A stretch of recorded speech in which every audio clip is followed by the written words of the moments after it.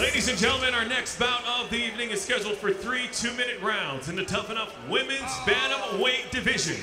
Introducing first, fighting out of the blue corner with a record of one win and three losses. Fighting out of Las Vegas, Krav Maga, Las Vegas, Nevada.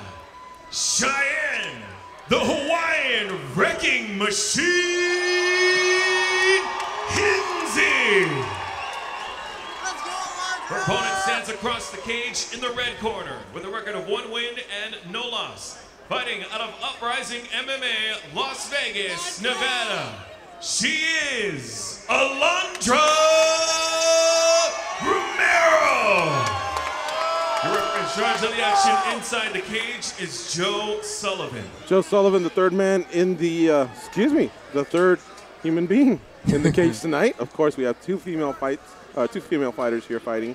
We have Cheyenne Hinsey, and she's wearing black trunks with red trim, black top. Alondra Romero, Whoa. black tights, white top, and they are going oh at it. God, Oh, they're not messing around. Zero to 90. This is the one thing I do love about women's ring. They are clinching now, exchanging knees, exchanging punches. They're all over the place. Oh, Hey, nice. Wow. hey. Oh, oh, Romero trying to go for the hip toss right there. Yeah, almost landed it. You know, you could see in their body language before the fight even started. Yeah. They couldn't wait to get at it. Yeah, yeah. Romero Yeah, looking for the ankle pick right there. It was like two pit bulls being held back, right? And the next, Uh-huh. next thing you know, they were let go. All right. Not that I would know anything about that, but I imagine that's how two pit bulls would collide. and I want to middle of a pit. apologize. I called her Alejandra. It's Alondra, right? Alondra So Romero. I'm sorry about that, With Alondra. purple hair. Oh, Looks you're cool. sorry I now like that it. you saw this. I like it. Looks Yeah, I apologize once it's her. Alondra Romero down. pushing up Cheyenne Hinsey against the cage. Remember, these are two-minute rounds, so whatever you do, you got to get going. You take the fight to the ground, you got to get going. You're up against the cage, you got to get that takedown. She has a nice uh, job doing that double uh, underhook right there. Looks like she's trying to go for a foot sweep with the left leg. And I think it's painfully obvious that uh, Romero is the more interested of the two parties taking the fight to the ground. Yes. Yeah, it seems yes, like it. yeah. Although she seemed pretty comfortable when they were striking there in the middle. Oh, nice ankle pick. Oh, but look, looks like um, she might not. Oh, tipping it out. Yeah. So Romero is now on top of Cheyenne Hinsey. Now she's in her, excuse me, half guard. I was about to say uh, full guard, but she's in half guard. And if And she can keep it here, she's probably going to cement the round because uh, the striking was pretty even, and she controlled it up against the cage. Now got the takedown, and look at her. She's looking to pass. Yeah, she did a good job doing that knee slide straight to side control. Very slick. But uh, 20 seconds left here. it'd be hard to Romero control that position top. from that side of the fence. I think to finish out the round, maybe a couple strikes, and then you go back and regroup Uh-huh. for round two. And there they are. Oh, that careful kick that almost kick. landed, and that would have been a downed opponent. I think she missed it. Looks like Romero's a little wobbly there. Could be that they're just both exhausted. Holy cow, what a pace here at Tuff-N-Uff Amateur Fighting Championships. The future stars of MMA, Gorgeous George with the Ghost here from the MMA Junkie Radio Show, joined by UFC veteran Ulysses Gomez.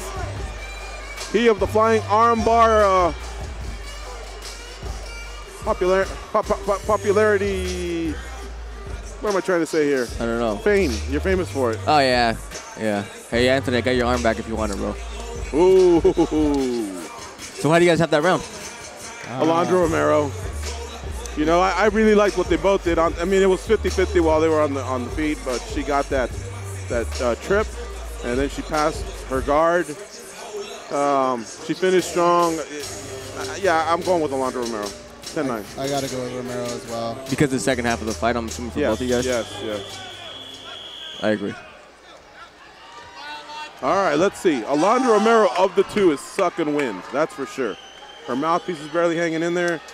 Cheyenne uh, Hinsey is a little bit more relaxed, but we'll see how this round goes. There's still two more to go. No touch of gloves here. Oh. oh, yeah, you can already tell. Oh, nice knee by Hinsey coming. Romero, I don't know that she has much gas oh, left in Oh, the nice tank. takedown straight to the side control. Very, very nice takedown. Executed nicely. Now I wonder if she's gonna try if she's gonna try mounting or just kind of hold the position and ride the clock a little bit and, and get her second win. Yeah, she should try that. Right now, she is inside control. Does she go knee on belly? She looks, like, she might try to wants force him out. Yeah. For only having one fight, her fight IQ is really good, Romero. Yeah, you're right. Because Cheyenne Hinsey one and three, so this is her fifth fight. Alondra Romero is only one and zero, but she's uh, very, very crafty there with a lot of the techniques. She almost landed the hip toss. She's had a nice clinch. The takedowns have been nice. She's controlling the top position very well too. Yeah. So we're almost at the one minute mark, and she's definitely controlling this fight and definitely this round. Yeah, from this position it'd be hard for Hinsey to get up because uh, her she needs to put her back on the on the fence so she can wall walk, but looks like she's gonna try scooting just a little bit. Just go inch by inch. But the problem with this is there's only one minute left in the round, so by the time she gets up, the round's already over. Right here, look for Romero to step over straight from out. I think from here on out, if Cheyenne Hinsey can get back to her feet, she should not even engage anything that has to do with the ground. Well, Just she's trying to go for a Kimura from that position. Hinsey is, but she's not gonna be able to get it. Alondra Romero again, black tights, white top. Cheyenne Hinsey, she's got the black tights, uh, black trunks, excuse me, with the red trim, and she's got a black top. Oh, Is looks she like taking her back? uh, well, she, no. Okay. It was, Looked like for a second she was Yeah, trying to sure get the hook did. over, but She's on one. oh, she put her, she reversed, she swept her. Oh no. Oh, Romero Alondra has her with now. 10 seconds left. She just Takes her choke now. back. Can she sink in the rear naked choke? It doesn't look like she's going to have enough time. But boy, the crowd went Time. nuts when they recognized Alondra Romero's technique. All right, round two in the books. Guys, how do you have it scored? I have it 2 nothing Alondra Romero. Uh, we're going to need a lot from Cheyenne Hinsey here in this last round. She's going to need a finish. Yeah, the second round seemed pretty one-sided for Romero. I mean, she took her down, mounted her, had her back. You know, um, Hinsey had a, a couple of fans, show us seconds how fun you're towards the end of the round, but Romero Mesquite. 2-0. Share your photo on social media. Well, let's see what the Hawaiian wrecking machine can do. Casablanca at But she, uh, she can't, she cannot hit the ground, Hashtag and she's Mayhem got to use some strikes. Mesquite. Romero looks Otherwise, she's, she's not going to win this fight. Yeah, no, Romero looks pr- pretty exhausted right now. It'd be nice to see if Hinsey Just comes out with a few knee to start the round. Two-night stand, Or that, golf, spa, that uh, push kick from the first round. I like the purple hair. Have we had a combatant with purple hair in the uh, in any of the major organizations? I know Judy Brownie? Well, that was in the show, right? Judy, Brown, Judy, Judy Brown. Brownie? I think I had one in the show. He, he went purple. I don't remember. Michael Haynes. Uh, yeah, Ju- Justin Haynes.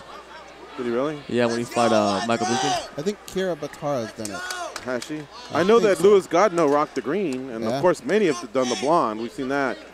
Uh, Mayhem had the orange or red. Randall Mentito. Uh, Yeah. yeah. All right. Here we go. Here we go. Round three. Almost a touch of gloves, but no touch of gloves. Here we go. A kick by Romero. She's probably hoping that uh, Hinsey would catch it and take her to the ground, but Hinsey's not biting. Oh, Well, Hinsey nice keep kick. feet from here. She needs to control the distance, not get taken down. Definitely get her back off off the fence. See, that's some nice work by Romero. I think she knows she doesn't want to stand with her. And here she goes, almost getting the fight to the ground.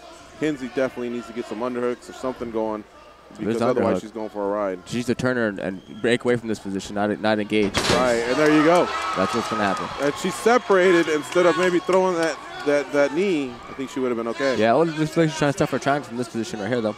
She has an overhook and bicycle control. But uh, Romero has a good job of getting good posture. Well, there's about a minute 15 left. So Hinsey needs to set something up, create some space, and get up. And She look at just up. Romero is so exhausted. She just lets her get up with no problem. Well, let's see if Hinsey needs to Uh, start Look at those punches Hinsey's right now there. starting to open up. Romero is really, really dying out there. Mouthpiece is hanging out, but boy, does she have a lot of heart. Yup. They are swinging away. Oh, it looks like Romero's not, possibly not interested in continuing. There's less than a minute, though. She needs to hold off. She wants, wants to win this fight, though. There are 50 Hinsey's seconds left, hands. and Hinsey is putting the pressure on Alondra Romero. Hinsey keeps delivering punch after punch, left after right. The crowd is going nuts. They're recognizing that this is Hinsey's only shot. Alondra Romero, however, There's 30 seconds closes left in here. face. I think uh, Romero caught a little second win here. She sure did, man. It looked like she almost wanted out, guys. Did you see that? yeah. About 45 seconds into the fight, she looked back towards her corner, and it almost looked like she wanted to, The refs- to stop. What is happening here? Neutral position. Oh, They both got to stand up. Looks like he's going to restart them in the middle of the cage with 10 seconds left, but they both got to get up first. wow. If she can just stand on her two feet, she One will- point for grabbing the fence. Yep, one point for grabbing the fence. She is exhausted, Alondra Romero. Is this safe, guys? Looks like she's crying. Wow. Nope, she's good. Does she realize where she's at or what's happening? And Cheyenne Hinsey is definitely ready It to looks fight. like she's Yeah, saying, oh, no, oh, up she's good. She's up. All right, here we Here go. we go. She got 10 seconds. She's got 10 seconds to finish this. Romero better get her hands up. Here we go. Cheyenne Hinsey throwing Oh, punches. Romero answers back. They are Nice. socking each other. Knees, punches. Wow, what a finish to the fight. I don't think I've ever seen a fight like this, guys. A lot of heart by both ladies. Are, are we allowed to clap? Wow, That was look an at excellent that. fight. Exciting. That really was a fun fight. Holy cow, did both ladies dig deep. Look at that. That's a picture right there. If somebody grabs that. Oh my God. Robbie, get that picture. Robbie, get that picture. Look at that. Oh, she got up. Wow. Wow, what a great fight by Cheyenne A Hinsey lot of heart and Alondra. Romero. I, I, I honestly think Romero may have been loopy, like she didn't know where she was at, or, or It seemed kind of like she was uh, that exhausted. Chandler and uh, Will Brooks moment, right? Exactly. Yeah. Yeah. She had a moment like that in round two for just a second, and then uh, it kind of Well, even in the first round when she got, she almost got up kick, Uh-huh. you know. So you know, but we'll see. Um, how right, do you guys have it? Let's figure out the math here. Shinzi came back to win. Hin, uh, sorry, Hinsey came back to win the round. Mm-hmm. So she's going to win the round, in my opinion, 10-8. And she's going to offset the two rounds that she lost. We may have a draw. There, there's, there's the replay there. Look at this. Hinsey lands a big right hand. Romero answers, barely missing with her right hand, barely missing with the left. Wow. Yeah, going off uh, the scorecards, I wouldn't, I wouldn't be opposed to being a draw just because they they uh, deducted a point in the third round. Great show of sportsmanship there between both ladies. But you, you understand what I'm saying? I think, Yeah. I think we are going to get a draw. Yeah. That point deduction cost uh, Romero. Anyway, we're going to make it official by sending it to our good friend Justin Bernard. Ladies and gentlemen, after three rounds of absolute war, we have a unanimous draw. Let's hear it for Cheyenne Hinsey and Alondra Romero.